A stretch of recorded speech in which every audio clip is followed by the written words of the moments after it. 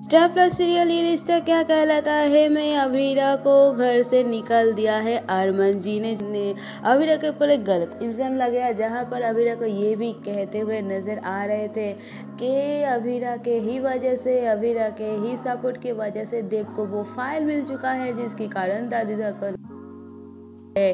और उसके ही कारण अरमान बहुत ही गुस्से में है। अभिरा को बहुत ही भला बुरा कहता भी है इंसल भी करते हैं और उनको घर से निकाल भी देते हैं, जहाँ पर अभिरा कुछ नहीं कहती है, बिल्कुल सा चुप ही रहते हैं।